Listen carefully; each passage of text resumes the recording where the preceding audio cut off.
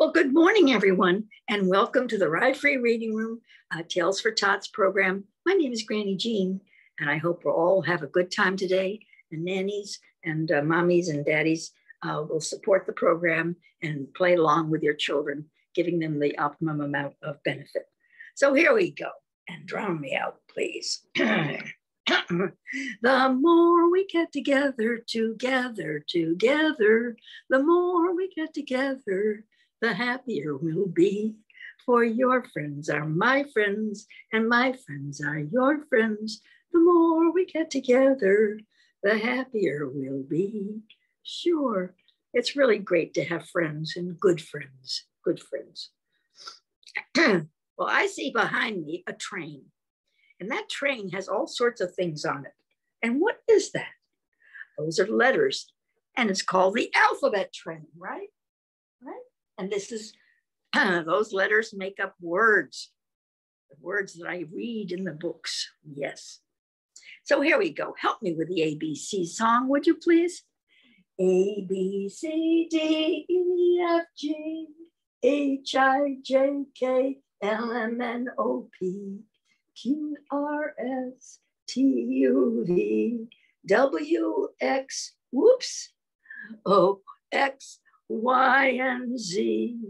Now I know my ABCs. Next time, won't you sing with me? My goodness, train fell off the track, didn't it? well, my board is kind of small, but here we go. Let's do it anyway. And maybe you, um, your, your mommy can help you find the letter that your name begins with. What do you think, huh? A, B, C, D, E, F, G, H, I, J, K, L, M, N, O, P, Q, R, S, T, U, V, W, X, Y, and Z. Now I know my ABCs. Next time, won't you sing with me? Well, that was pretty good. I think that was pretty good. And maybe we'll leave that up for next week and maybe we'll show you uh, a little bit of a, a uh, alphabet book and find some things that, that uh, these letters um, represent. Okie doke. Oh, let's see. Are you happy? I hope so. If you're happy and you know it, clap your hands. You can do that, right? If you're happy and you know it, clap your hands. If you're happy and you know it and you really want to show it, if you're happy and you know it, clap your hands. But if you're sad and you know it, cry big tears.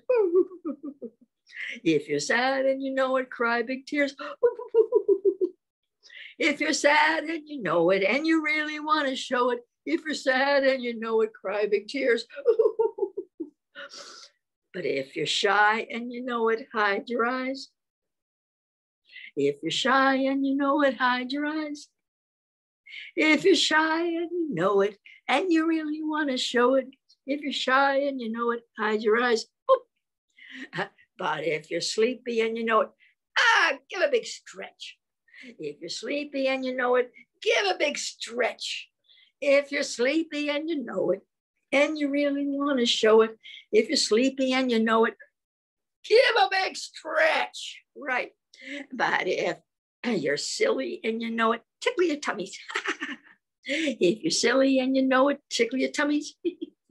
if you're silly and you know it and you really want to show it, if you're silly and you know it, tickle your tummies. but if you're mad and you know it, stamp your feet. If you're mad and you know it, stamp your feet. If you're mad and you know it and you really want to show it, if you're mad and you know it, stamp your feet. But if you're happy and you know it, clap your hands. If you're happy and you know it, clap your hands.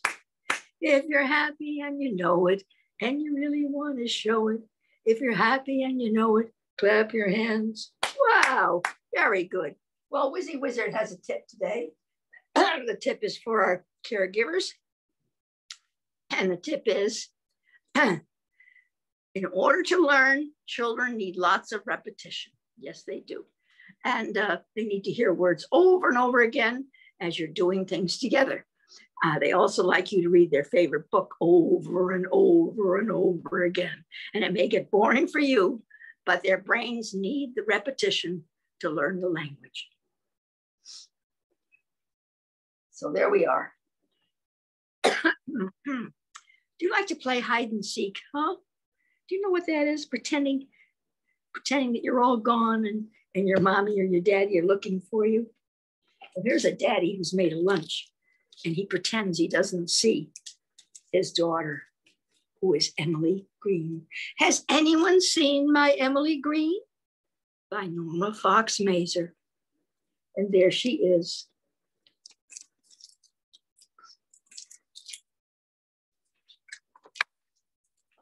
She's hiding. What is she hiding behind a towel? Oh, we can see her feet, but she doesn't know that, does Has anyone seen my Emily Green? Oh, look, it's Daddy. Where's Emily Green? Hiding behind the cabinet there. Oh, she's my barefoot dancer, my brown-eyed prancer, my girl who loves the color red and roses and rhymes and ribbons and bread. Oh, Daddy's made her a nice lunch. Has anyone seen my Emily Green? Her lunch is ready. It's half past uh, noon. The table's set, knife, fork, and spoon. I've made oodles of noodles, brown sugar ham, and fresh baked bread with strawberry jam. And where is that Emily? She's under the table. And I think daddy knows. I think he does. But he's playing the game with her, right? Has anyone seen my green Emily Green? She's not in the sink. She's not in the drawer. She's not in the pantry. She's not behind the door. Where is she? Peeking around the other door, right? Is she under the rug behind the chair? Look what she's done. She thinks she's hiding, but she's very little, so she doesn't understand that her feet are showing, right? Up on top of the desk? No, on top of the desk? No, that's the cat. Ah, way up in the air? I can't find her anywhere. I think Daddy knows where she is, huh? I think he does.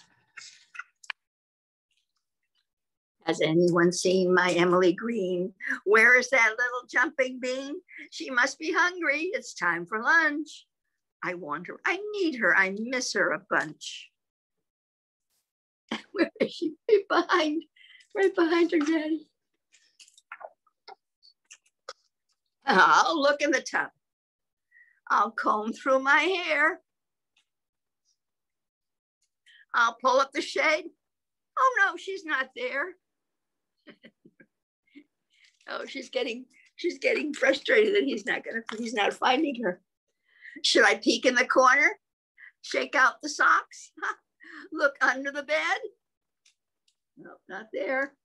Or in a box? Wait, wait. What is that I hear?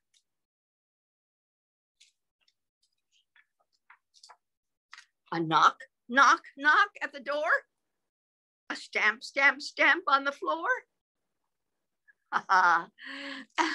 and a big, huge, enormous, tremendous roar. Oh, Emily Green thought she was tricking her dad, huh? Who could it be?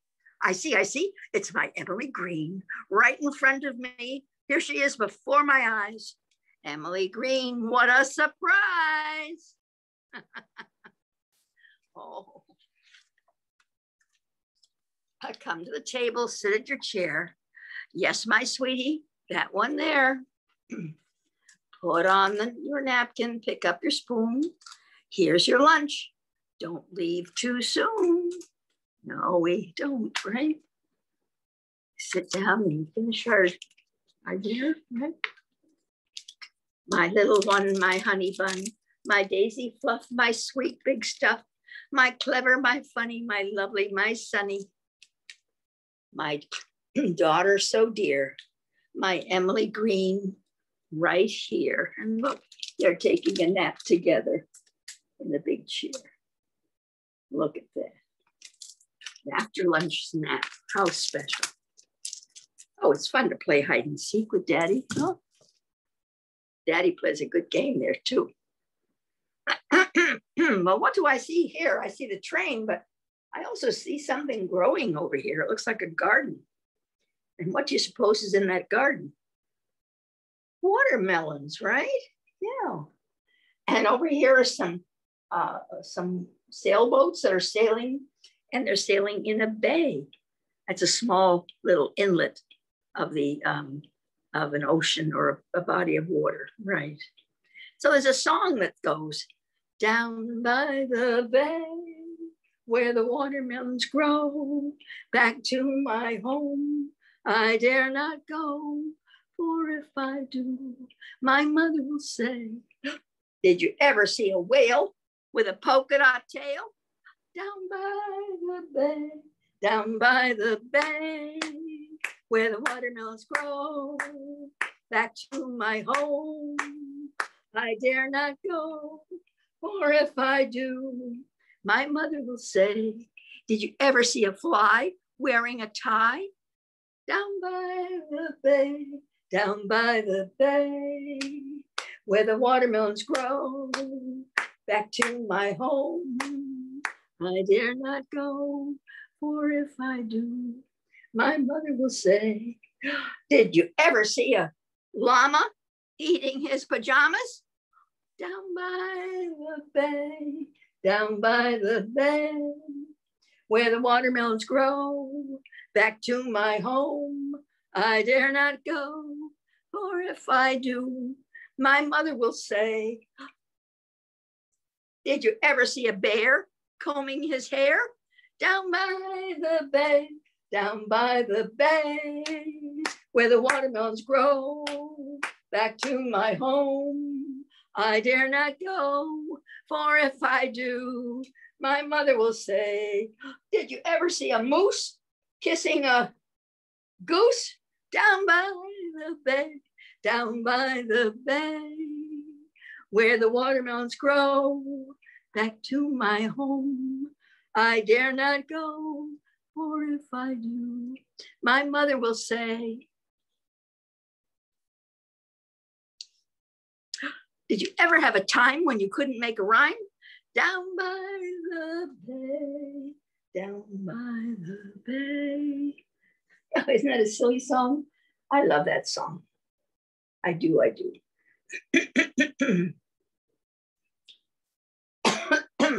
well, let's see what we've got here. Uh, well, we don't have many um, frogs down by the bay, but we have them down by the pond, right? And here's a bullfrog. See him? He's a he's a big frog, and he makes a big sound. Yeah, some frogs are make different sounds, different sounds entirely. And we read this poem last week, and it's one of Jack Prelutsky's. In, and I found it in Ride a Purple Penguin, a collection of rhymes for young children. And this one I love, and I love his pictures too. So they're bright and bold and um, uh, very child friendly. Bullfrogs, bullfrogs on parade, dressed in gold and green brocade, scarlet buttons on their suits, fringes on their bumbershoots. And look at that, that's up up top of his, their hats. See them tip their satin hats as they bounce like acrobats, hear them croak a serenade. Bullfrogs, bullfrogs on parade. Boom, boom, boom, boom. And that's just how they sound at night when they're adult frogs.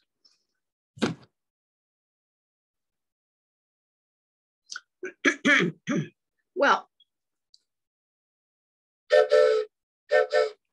do you have a toy train, huh? Well, we have a book today about a little boy who loves to play with trains. And he plays in the morning, plays it in the afternoon, he plays before he goes to bed. And it's called Chugga Chugga Choo Choo. Look at that. And it's by Kevin Lewis. Chugga Chugga Choo Choo. Ooh, look at all those letters. Those are all small letters. They're the baby letters. What I have up here are the, daddy's and mommy letters, the capital letters. Sun's up, morning's here, up and at 'em, engineer. Who's the engineer? Well, they've got a little toy engineer there, but the little boy that owns the train, I think is the engineer too. Chugga chugga choo choo, whistle blowing, woo, woo, he says. And look at that. Puts the engineer in the in the cab there. hurry, hurry, load the freight to the city. Can't be late. And there he puts all his little blocks and toys and different things that fit into the train. There he plays, pretending he's the big manager of a freight yard there. Through the country on the loose, engine black and red caboose. See the red caboose? You see the black engine over there? And he's going around the furniture, pretending it's hills and valleys and through cities. You do that, do you? Ah, chugga chugga choo choo. Wheels are turning. Woo woo. I'm sure he has a whistle too, don't you think? Right.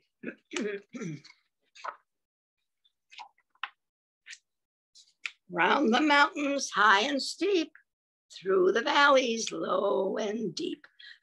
Look, he's made the mountains from boxes and pails.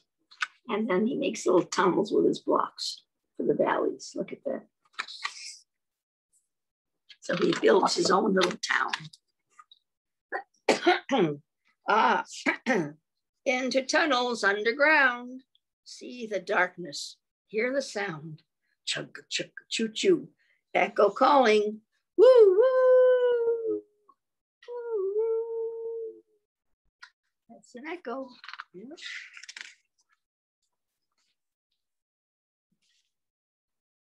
Cross the river swift and wide. A bridge goes to the other side. Chugga chugga choo choo. There's the city. Woo woo. Oh, and, uh, what was the and, and and and across the river? And what was the river?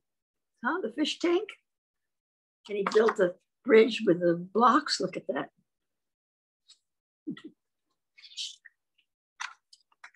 In the station, workers wait, ready to unload the freight.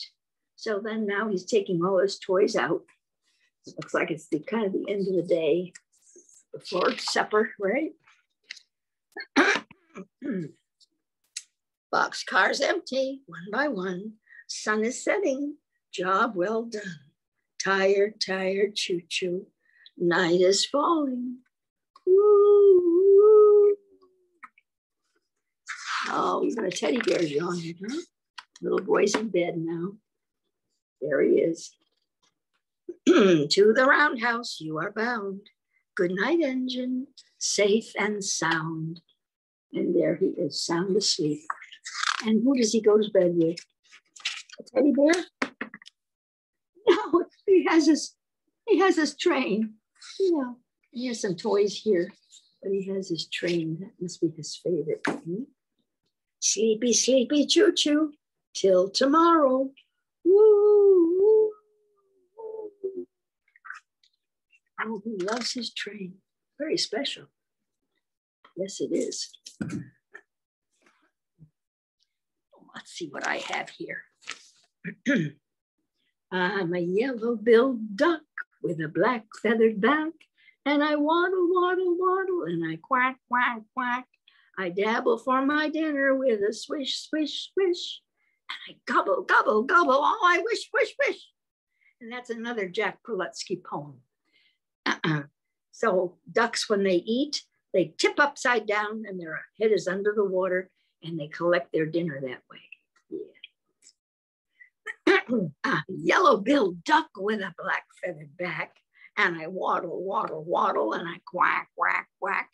I dabble for my dinner with a swish, swish, swish, and I gobble, gobble, gobble all I wish, wish, wish. Hmm.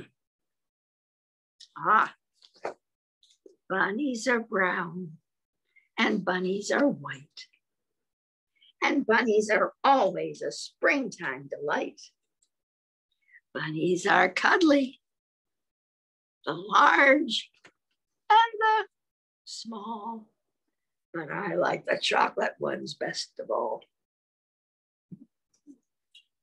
so here we are. Bunnies are brown, bunnies are white, and bunnies are always a springtime delight.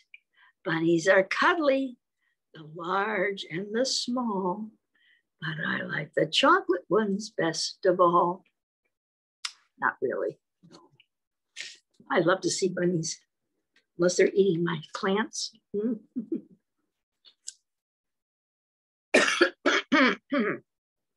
well, I'm lucky there's still some lily of the valley out. Remember last week we sang a little song about lily of the valley, right? And they're like little bells. See them? See? They come out in the springtime. They smell so beautifully, right? They're not very good to, to eat, but what is nice is the deer don't like them either because they know they're poisonous, right? And here they are. They're a long green stem, and then that's called a stalk.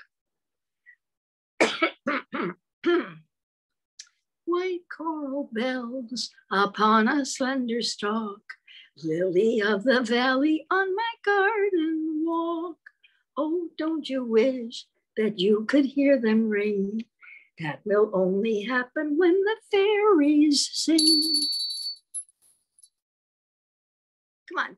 White coral bells upon a slender stalk, lily of the valley on my garden walk. Oh, don't you wish that you could hear them sing? That will only ha- ring, that will only happen when the fairies sing. I did that, yeah. I couldn't fool you, right? Well, how about planting if you eat a cherry, you'll find a little pit there, a big round pit, very hard like a stone.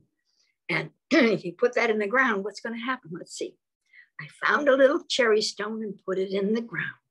And when next year I went to look, a little shoot I found.